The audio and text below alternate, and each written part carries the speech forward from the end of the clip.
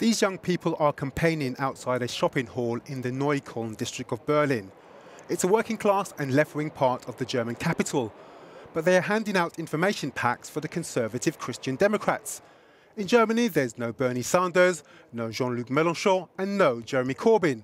Instead, opinion polls show that young people here will vote mostly like their parents, and not even very different to their grandparents. It might simply be down to the strong German economy. In Germany, we have much better chances for young people. Education and training are good. We simply have good prospects compared to other countries. But low youth unemployment might not be the full story. These CDU volunteers had just started school when Angela Merkel won her first election in 2005. Since then, she has been dealt with a seamlessly endless list of problems the financial crash, the euro crisis, war in Ukraine, mass migration, Brexit, and now Donald Trump as president of the United States of America. Merkel has been a calm voice for these young voters throughout most of their lives.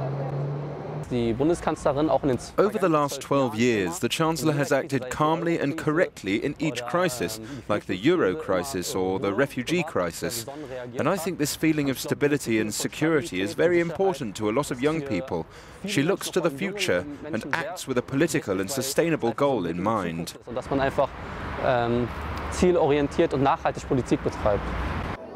It's sometimes easy to forget that Merkel is leading a conservative party.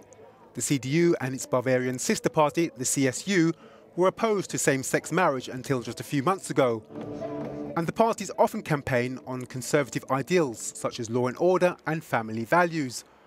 But at the same time, Merkel has adopted more left-wing positions, such as ending nuclear power and, of course, support for refugees. Some people think this has made the party more acceptable to the young people. Put it this way, when Helmut Kohl was at the end of his chancellorship, he wasn't particularly liked by young people. That's not the case now. With Merkel, it's acceptable for young people to vote conservative, because she herself is very moderate. The party is not so much, but Merkel as the public face of the party is a very moderate chancellor.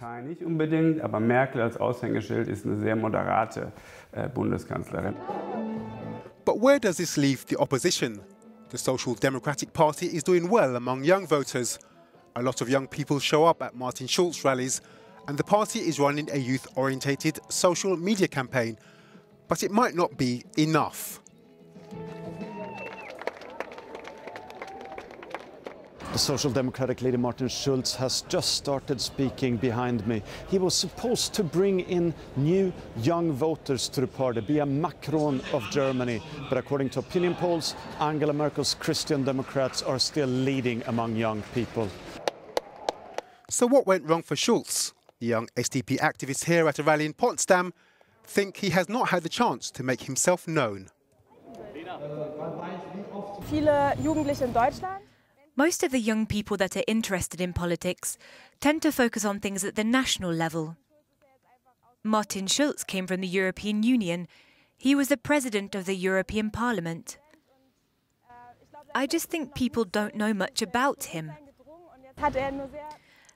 And now he has this short time to get known by people, and he hasn't really been able to do that with young people. Schulz entered the German election ring with high expectations when he was elected head of the Social Democrats. We'll find out on September the 24th if the initial enthusiasm of what became known as the Schulz effect becomes reality when he goes up against the mic of Merkel and the CDU at the polls.